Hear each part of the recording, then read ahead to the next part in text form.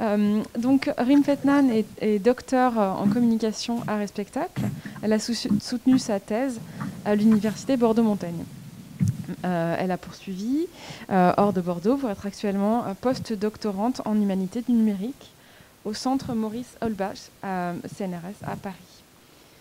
Dans le cadre de sa thèse, elle a travaillé sur la fabrique des imaginaires de l'altérité dans les biennales internationales d'art contemporain à partir d'un corpus de six expositions ayant eu lieu entre 1989 et 2012. Elle est particulièrement intéressée par l'articulation entre discours et valeurs symboliques dans les expositions. Et donc ce matin, euh, Rim Fetnan nous propose une intervention intitulée De quoi l'activisme est-il le nom? Réflexion sur le développement d'une catégorie artistique. Euh, ben, merci de, de m'avoir euh, euh d'avoir accepté ma, ma, proposition pour ce colloque. Je suis très contente de, pouvoir participer, même si c'est à distance et que c'est mon premier colloque à distance, donc j'espère que tout fonctionnera. Euh, alors j'avais pour ambition de, de, retracer euh, la naissance de cette appellation activisme artistique euh, dans les catalogues d'exposition. Euh, mais euh, l'entreprise m'a ensuite semblé vraiment très démesurée tant les références à l'activisme euh, et à ses alternatives sémantiques sont nombreuses et surtout anciennes. Euh, toutefois, euh, la lecture de certains textes de référence sur le sujet m'ont permis de formuler deux principaux constats qui ont déjà été faits par les intervenants précédents. Euh, D'abord, s'il est difficile de formuler une définition de l'activisme artistique qui puisse englober la diversité des productions euh, artistiques, j'ai pu constater que euh, souvent cette appellation est associée à des termes dont la récurrence m'a semblé significative, en particulier contestation, protestation, opposition, voire révolution. Et ces termes renvoient au fait que la notion d'activisme artistique euh, contient en elle la rencontre, l'articulation même de deux mondes qui ont toujours entretenu une relation complexe, voire paradoxale, qui sont le monde de l'art d'un côté et le monde de la politique de l'autre. Euh, la notion d'activisme artistique pose pour moi une question centrale qui est celle de l'efficience de l'action de l'art sur des domaines extérieurs et on peut s'interroger sur euh, les effets de certaines productions artistiques dites activistes sur le monde, sur les inégalités qui sont dénoncées. Suffit-il qu'une œuvre se revendique comme oppositionnelle pour qu'elle produise une véritable opposition? Cette question a déjà été euh, soulevée dans l'introduction. Euh, le deuxième constat, euh, c'est que les théories formulées à propos de l'activisme artistique placent au centre euh, les œuvres d'art et les artistes comme principaux leaders des revendications, mais rarement est interrogé le cadre dans lequel ces derniers parviennent à mener leur action, à agir, puisqu'il s'agit euh, précisément de ça avec l'activisme. Or, euh, l'exposition ne peut pas être négligée de cette réflexion sur les activismes artistiques, à la fois parce qu'elle marque la séparation euh, avec le monde social et politique, donc elle est un lieu symbolique important, et aussi parce qu'elle est investie depuis les années 60-70 euh, euh, d'un rôle important dans la diffusion de discours oppositionnels euh, ou dans la mise en place de politiques spécifiques, qu'il s'agisse de politiques de représentation, de démocratisation, etc. D'ailleurs, il y a de nombreuses initiatives artistiques qui, peuvent être approchées de l'activisme, qui passent justement par ce médium de l'exposition fictionnelle, et j'y. Dans cette communication, j'aimerais approfondir et développer ces réflexions euh, sur l'articulation entre activisme et exposition, euh, en gardant en mémoire euh, les paradoxes et les tensions que j'ai soulevées rapidement. Ma démarche sera de mettre en avant certaines régularités et récurrences dans la manière dont l'engagement politique et l'activisme se traduit dans les expositions à travers deux cas euh, la Documenta 10 et la Documenta 11 de Kassel. Ah, euh, alors, pourquoi j'ai choisi euh, ces expositions? Alors, elles, font partie d'un ensemble plus large, la Documenta, d'un type d'exposition qu'on qu peut, peut, qualifier de biennale. Leur relation avec euh, l'engagement politique euh, est pour moi assez euh, essentielle dans leur structuration puisqu'il y a une injonction implicite, qui est que la sélection présentée par les biennales, les expositions de type biennale, doivent être réflexives et non consensuelles. Et dans ces manifestations, l'activisme, en tout cas l'engagement politique, éthique ou social des acteurs, est à la fois au service de la thématique qui est développée, mais également au service de l'événement lui-même pour lui donner une crédibilité auprès des médias et des publics. C'est-à-dire que le caractère critique d'une exposition est un moyen de souligner la dimension novatrice et inédite de l'événement, euh, en particulier vis-à-vis des éditions précédentes. Alors, dans la mesure euh, où toutes les manifestations euh, de type biennale ne bénéficient pas du, même prestige, euh, j'ai choisi de me concentrer sur l'une d'entre elles qui joue d'une importante visibilité sur la scène artistique euh, internationale et dans les médias. Euh, la Documenta a été créée en 1955 et a lieu tous les cinq ans à Cassel. Alors j'ai choisi deux cas particuliers qui sont caractérisés par leur approche engagée politiquement.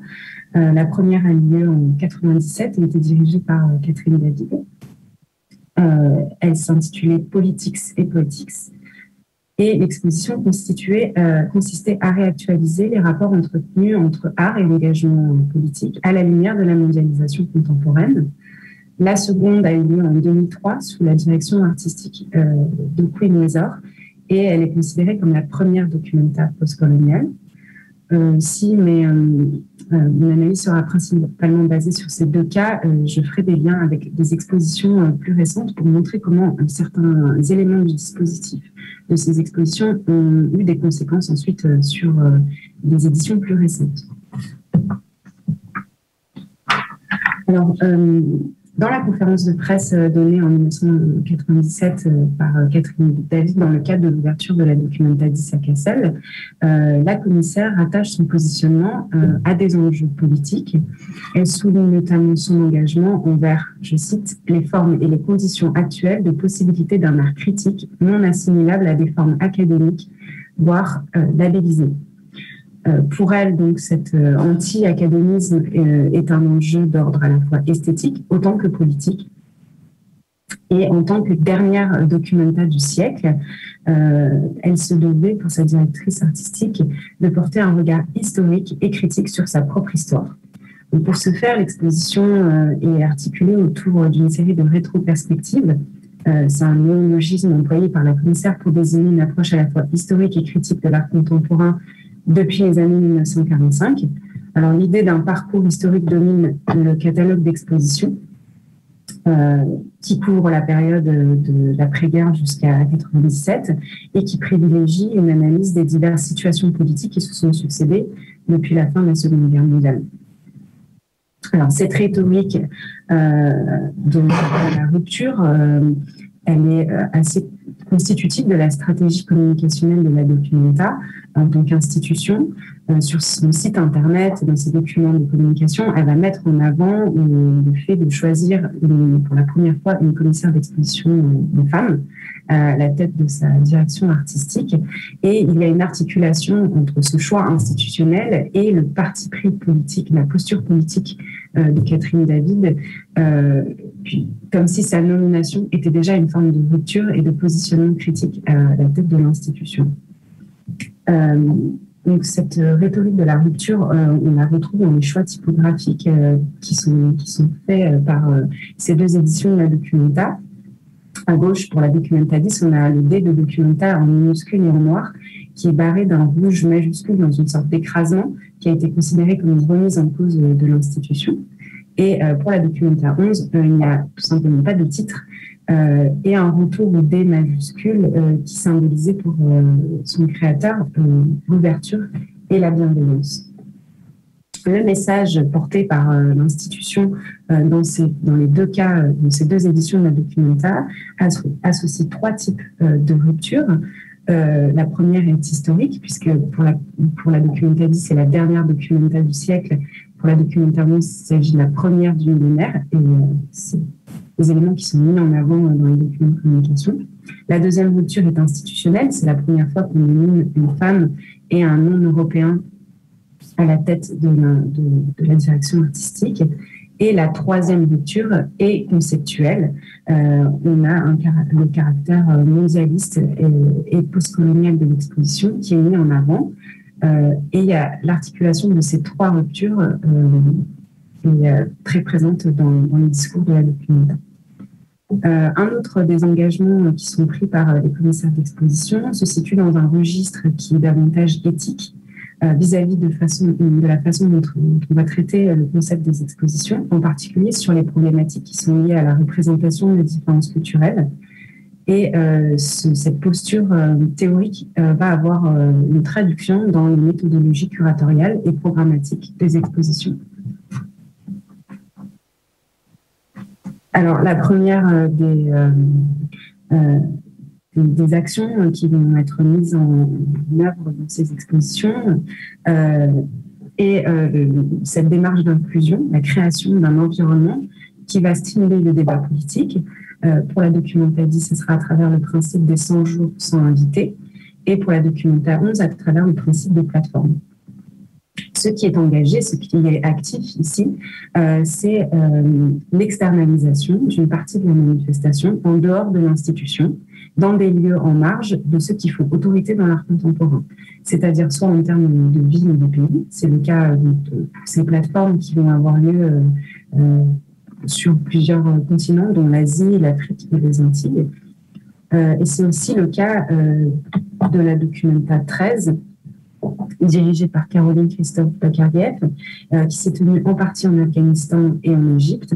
C'est aussi le cas de la dernière Documenta en 2017, à gauche sur l'image. pour cette 14e édition, le curateur Adam Kinzik a réparti la manifestation entre Athènes et Cassel au moment où la Grèce souffrait d'une crise économique et migratoire.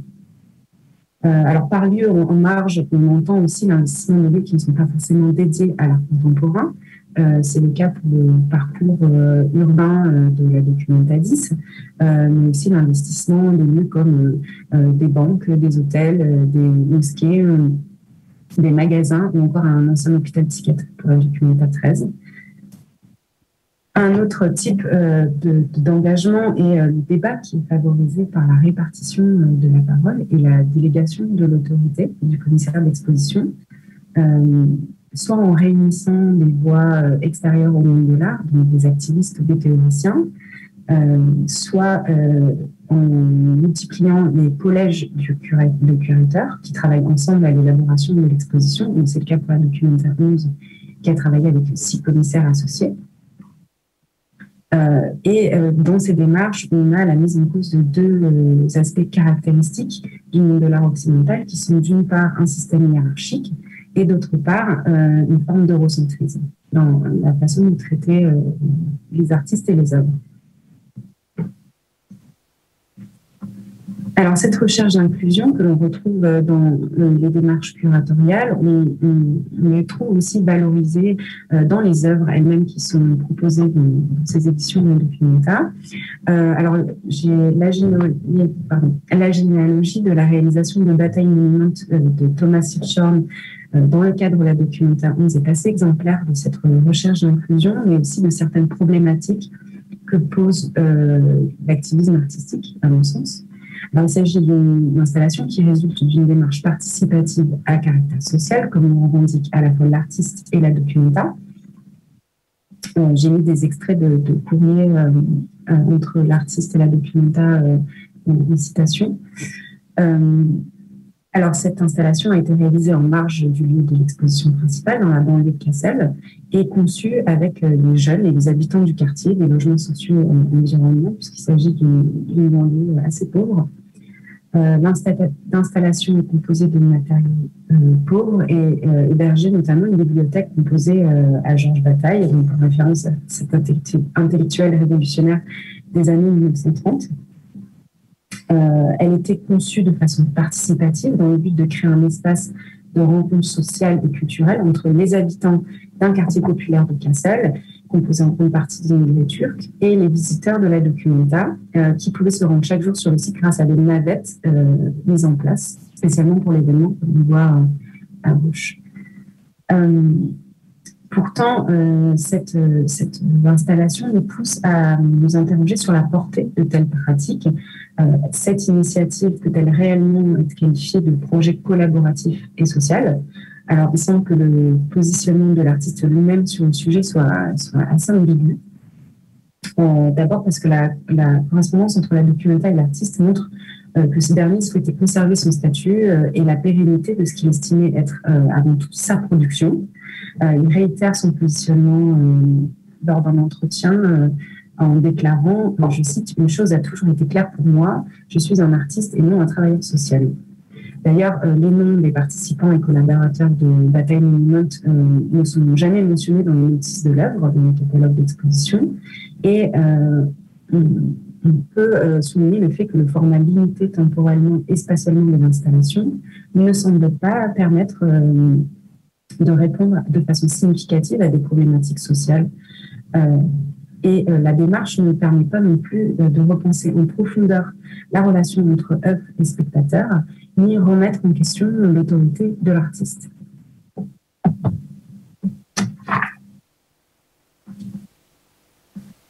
Alors, autre tendance observée à la documenta, euh, l'exposition d'œuvres issues de mouvements critiques historiques, euh, notamment euh, la critique institutionnelle, qui est un mouvement qui est très régulièrement cité dans les ouvrages sur l'activisme artistique.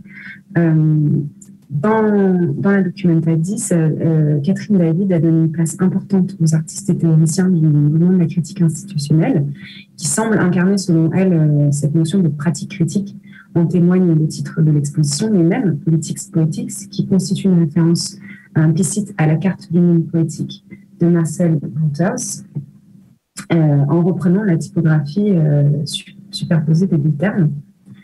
Euh, il y a parmi les figures centrales que l'on retrouve dans les 100 jours ou dans le catalogue de l'exposition, il y a notamment Benjamin Buclo, euh, contributeur actif de la revue October, autour de laquelle la notion de critique institutionnelle s'est développée à partir de 1976. Euh, la participation de Burklo au, catalogue de la Documenta ainsi qu'au programme des 100 jours de sobriété fait écho à une autre contribution artistique centrale de la manifestation que j'ai déjà mentionnée, donc celle de Marcel Groupers. Alors non seulement il a eu une, influence théorique importante dans l'élaboration de l'exposition, mais celle-ci présente aussi son œuvre section art moderne et publicité, euh, qui est assez exemplaire euh, de la façon dont les artistes ont pu utiliser l'exposition fictionnelle comme les critiques de l'exposition et comment ce dispositif soulève la question de la monstration et de la récupération du côté des curateurs et des institutions. Alors, section publicité ouvre la dernière section du musée fictif qui a été inaugurée par l'artiste chez lui en 1968 qui s'intitulait Le musée d'art moderne département des Aigles. Euh, en écho aux événements politiques de mai 68, l'artiste produit une critique de l'institution muséale en créant une version parodique de celui-ci. Euh, à l'origine, ce, musée fictif est principalement composé de caisses vides et de cartes postales de peintures connues du 19e siècle. Euh, il s'agit d'une installation évolutive qui a connu plusieurs changements depuis sa création jusqu'à sa présentation finale lors de la Documenta 5 en 1972, où l'artiste décide euh, de ne plus présenter l'œuvre par la suite, comme montre euh, ce statement qu'il rédige le Alors, de toute évidence, Catherine David avait connaissance euh, de l'opinion de l'artiste vis-à-vis de sa propre pièce, puisque cet essai était en sa possession. Euh, elle n'ignorait pas non plus que la progression de l'œuvre était pour, l'artiste achevée et qu'il considérait la consécration octroyée par la Documenta 5 comme la dernière étape avant ce qu'il appelle l'ennui. Euh, la présentation de grandes figures et œuvres issues du mouvement de la critique institutionnelle au sein de la Documenta soulève plusieurs interrogations notamment sur la contribution de la manifestation au processus d'incorporation par l'institution culturelle ou muséale euh, de sa propre critique. Euh, cette institutionnalisation de la critique institutionnelle, en, quelque sorte, témoigne pour beaucoup d'un processus de récupération qui va être euh, assez critiqué. Et Catherine David, anticipant ce type de critique, ne va pas mentionner dans aucun des textes de la documenta une référence explicite au mouvement de la critique institutionnelle.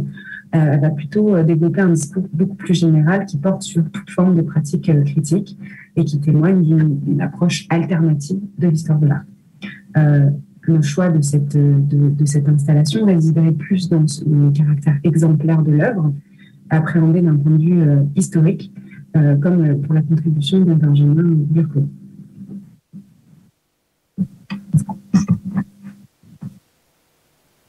Pour conclure, en ayant brossé très très rapidement euh, certains éléments de, de, cet activisme dans les expositions, euh, j'ai abordé donc euh, cette idée de la rhétorique de la rupture qui peut être de nature euh, historique, institutionnelle ou encore éthique ou idéologique. Dans tous les cas, on a cette idée qu'il y a un avant et un après. Et qu'il va y avoir la recherche de traduire dans le discours, enfin, traduire dans les dispositifs ce, discours critique. on a une intégration de problématiques politiques comme support de discours sur l'art, euh, et un positionnement politique des curateurs qui fait écho à ceux des artistes. Euh, il y a une recherche de, collaboration et de collectif qui me semble assez intrinsèque à cette idée d'activisme artistique. Et on a certains euh, mouvements théoriques critiques qui sont intégrés dans les expositions, soit à travers le réaccrochage de certains mouvements artistiques historiques, soit à, travers l'intégration d'activistes extérieurs au programme de la manifestation, euh, soit à travers l'intégration d'initiatives euh, sociales ou politiques. Euh, dans les deux cas, il me semble que la portée de ces partis pris est à relativiser. Donc, il y a beaucoup d'espaces discursifs qui sont mis en place dans les expositions qui, qui, ne, produisent pas une véritable équité ou égalité dans la répartition des discours et des discussions, donc qui ne sont pas forcément le lieu idéal de, création d'un débat.